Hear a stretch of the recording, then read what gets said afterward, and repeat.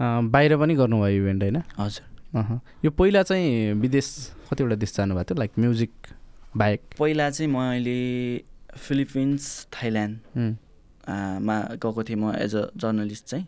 Thailand दुईचोटि film Philippines एकचोटि। त्यस पछाडि म्युजिक म्युजिकको हिसाबले चाहिँ अस्ट्रेलिया टुर अस्ट्रेलिया टुर यो यही वर्ष होइन? यही वर्ष कस्तो कस्तो बवाल भयो त्यो? एकदम राम्रो भयो। किन भन्दाखेरि हाम्रो जुन चार पाँच ठाउँमा जुन प्लान भएको थियो यहाँ यो फोटो भयो होइन? अनि पछि अरूको पनि हामीले थाहा पायौँ अरू कलाकारहरू को इभेन्टहरू पनि अनि हामीले बुझ्दाखेरि चाहिँ हाम्रो अर्गनाइजरले जो सबै कुराहरू एकदम एउटा डिसेन्ट वेमा गरिदिनु भएको रहेछ हामीलाई त्यो स्टेजदेखि साउन्ड सिस्टमदेखि चाहिँ जस एउटा हामीलाई उसमा के अरे ब्रिस्बेनमा हुँदाखेरि त्यहाँ त्यहाँको साउन्ड सिस्टमको मान्छेसँग कुरा भएको थियो कि।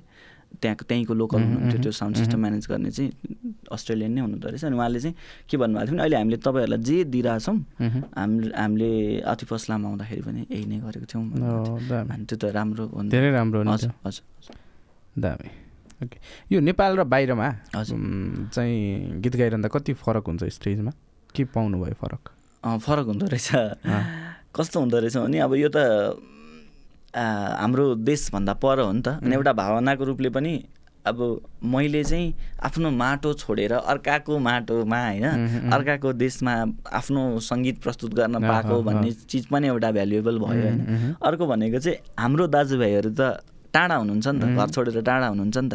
अनि हामीले त्यो आफ्नो प्रस्तुति लिएर जाँदाखेरि चाहिँ गीत मात्रै लिएर गएको हुँदैन रहेछौँ क्या। उहाँहरूको मेमोरी उहाँहरूको नेपालप्रतिको माया नेपालबाट उहाँहरूले चाहिँ त्यो जे मिस गरिरहनु भएको हुन्छ हामी हामीले त्यो स्मेल लिएर गएको हुँदो रहेछौँ अनि उहाँहरूको त्यो रेस्पोन्स पाउँदाखेरि चाहिँ एकदम खुसी लाग्ने क्या त्यो कस्तो जस्तो हामीलाई गाउँघरतिरको कोही गाउँघरको एकदम या याद आइरहँदा कोही गाउँले आइदियो भने पनि त्यो। गाउँकै न्यास्रो मेटिन्छ अँ, नि अँ, त्यस्तै। खालको क्या त्यो चाहिँ। लास्टै नै धेरै बवाल इन्भाइरोमेन्ट रेस्पोन्स चाहिँ अति राम्रो पाइने क्या त्यो माया चाहिँ। त्यो उहाँहरूले हामी मार्फत आफ्नो मेमोरीहरू चाहिँ सम्झिरहनु भएको हुन्छ नेपाल सम्झिरहनु भएको हुन्छ होइन। अनि त्यो अब उसै पनि विशेष भयो उहाँहरू त्यहाँ दुःख गरिरहनु भएको छ। हामी भगवान्को कृपाले उहाँहरूलाई सङ्गीत सुनाउन जान पाउँछौँ फर्केर आउन। पाउँछौँ उहाँहरूको त एउटा टाइम नभई एउटा व्यवस्था नभई आउन पाउनुहुन्न नि। त अनि त्यो चाहिँ विशेष नै हुन्छ